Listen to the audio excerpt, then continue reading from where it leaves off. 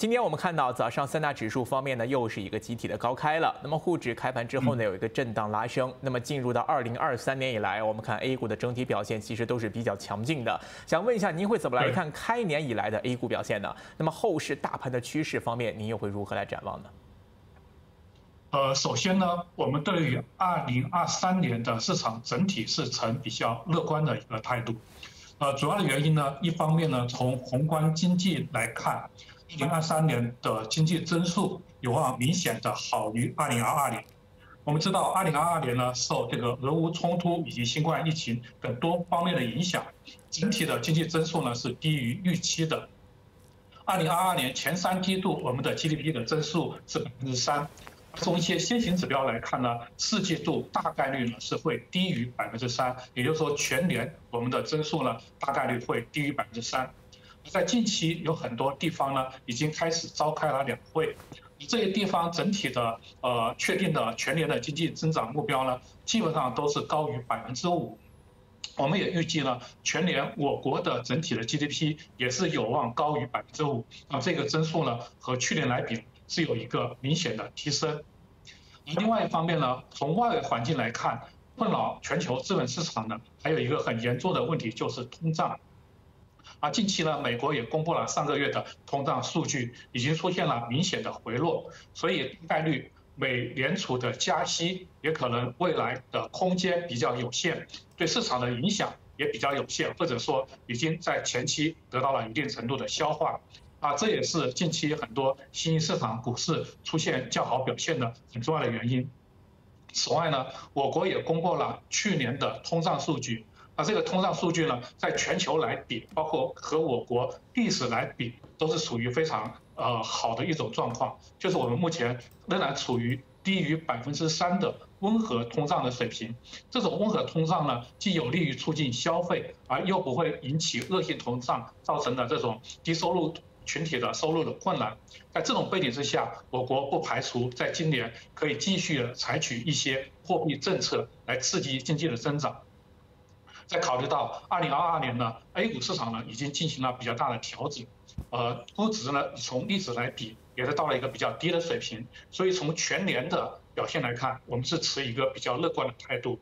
而从中短期的走势来看呢，目前上证指数基本上也都在中短期的均线上方，中短期的均线仍然是呈现着多头排列，仍然会对股指构成一定的支撑，所以呢，中短期市场的走势还是比较好的。它长线呃的压力仍然存在，就是上证指数连线的压力仍然存在。而我们认为长线市场呢也还是会有一定的压力，主要呢就是目前困扰全球的疫情在目前呢仍然还在继续的肆虐，俄乌冲突呢仍然还在持续，市场全球的不确定因素还是比较多，而且全球的整体的增速有可能呢还会继续的放缓，从而呢也会给我国的出口等方面呢带来一定的影响。包括外围的股市也有可能还会有震荡整理的要求，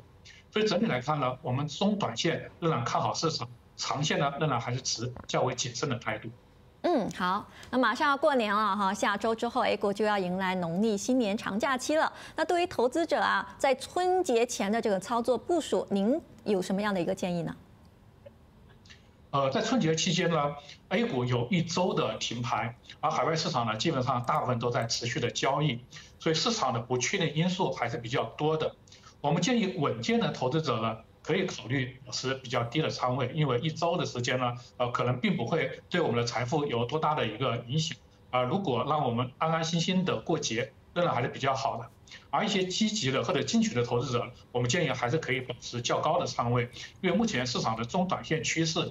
还是没有改变的，呃，还是一个向上的趋势，呃，当然呢，在最后一周呢，有可能市场整体的观望气氛会比较浓，因为呃，这个节日的效应呢，对节前的这一周可能还会有影响，市场的交投仍然可能还会较为清淡，这可能呢会使一些短线的市场不会很活跃。就从 A 股市场近期的表现来看，由于成交量呢相对于历史的。天量来看啊，仍然是属于较为低迷的水平，所以整体的一个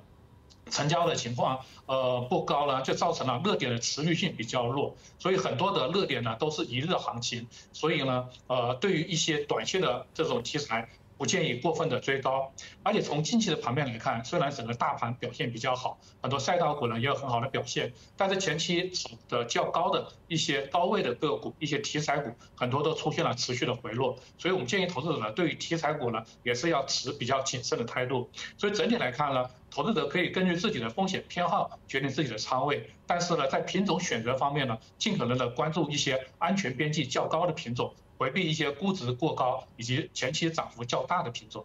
嗯，明白。那么近期啊，我们来看上市公司呢，也是在陆续的发布一些年报或者说是年报预告。对此呢，想问一下，您认为啊，这个投资者应该如何来防范当中可能存在一些暴雷风险，或者说把握一些相关的机会呢？呃。财务报表呢，就是上市公司的语言，投资者呢应该高度的重视。一方面呢，在这个报表出来之前，可以做好适当的布局或者是防范；另外呢，在报表出来以后，也可以进行认真的解读。在前四个月呢，我们将会完成去年的年报，而且在一月份呢，也要完成，呃，就是达到这种业绩。预告要求的公司也要完成业绩的预告，这样的话呢，会给市场带来很多呃个股的机会，因为上市公司的安全边际和成长性的差异会加大个股分化。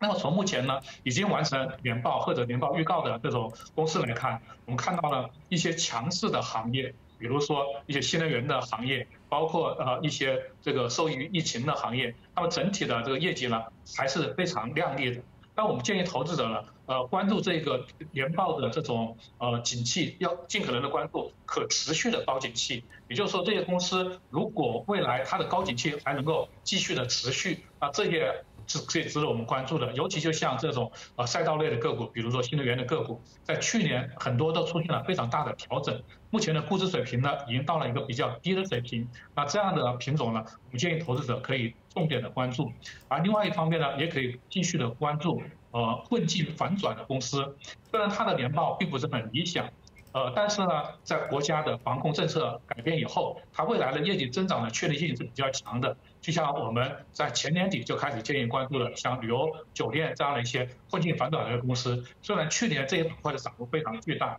近期呢是出现了一定调整，但从长远来看，如果这些公司的基本面能够得到持续的改观，我们建议这样的品种呢，啊，在调整充分之后，也是可以适当的关注的。所以呢，一方面呢，我们要提前的回避一些业绩较差。估值过高，尤其是有可能有退市风险或者是减持压力较大的品种。而另外一方面呢，我们可以从未来景气有望增长，可以关注两个呃细分行业，叫细分领域，一个是可持续的高景气，另外一个是有望反转的低景气。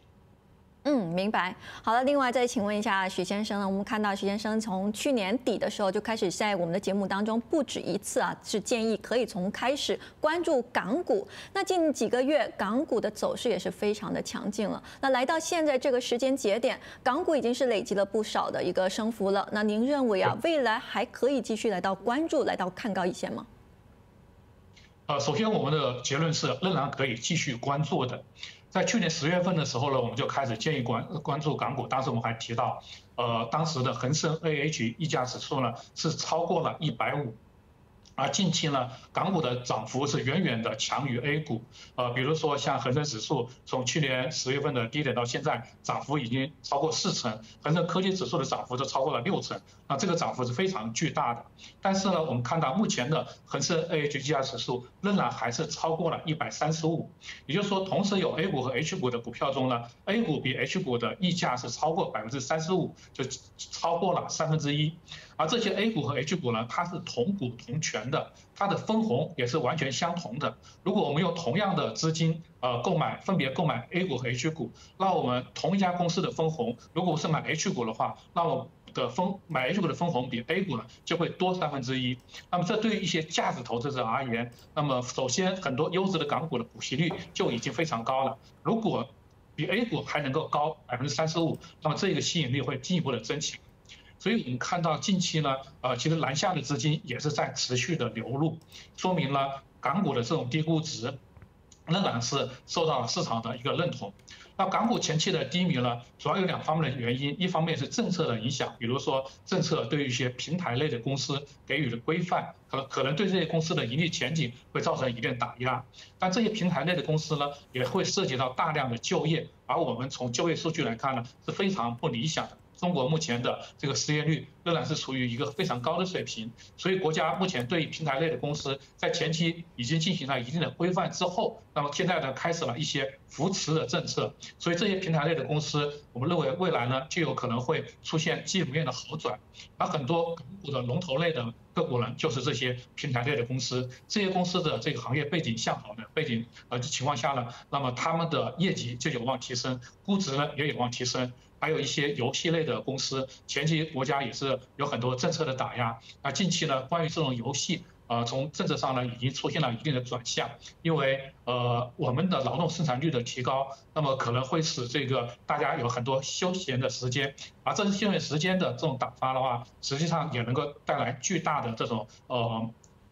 行业的一种机遇。所以游戏类的公司在政策出现。拐点了之后呢，也会有比较好的发展前景。那么这是港股中的一些平台类的公司。此外，我们刚刚提到这种 A H 的公司，有很多是一些优质的大盘蓝筹股，比如说银行类的、保险类的、基建类的、呃航运类的、呃航空类的各类的这种行业龙头，实际上它也都是有 H 股的。这些公司呢，也会在我们刚刚提到的，就是。今年我们的 G G G D P 的增长有望出现复苏的背景之下，他们作为微观的公司，尤其是行业的龙头公司，也会因此而受益。他们的业绩的增速也有望在呃未来以前的基础上得到进一步的提升。所以这些公司呢，未来也会能够得到资金的青睐。另外呢，前期港股的走弱呢，也会因为流动性相对来说是比较的弱，受这个全球的资本市场的转移，比如说在呃。美联储不断加息的情况下，很多资金回流美国有关。而我们刚刚提到，就美联储未来加息的空间有限，美元指数近期都已经出现了持续的回落，这种资金外流的压力也有所减轻，所以港股呢的资金面也有望得到一定的改观。所以在这种呃既有宏观基本面的利好。也有这种资金面的利好情况下，我认为港股呢仍然还是可以继续看好的。何况它目前和 A 股呢仍然还是有比较大的价差，仍然是属于一个价值的洼地。所以我们建议投资者仍然可以顺势而为，继续的关注。好，非常乐观。好的，感谢徐先生这一时段的精彩点评。那先休息一会儿，广告过后回来还会港股环节。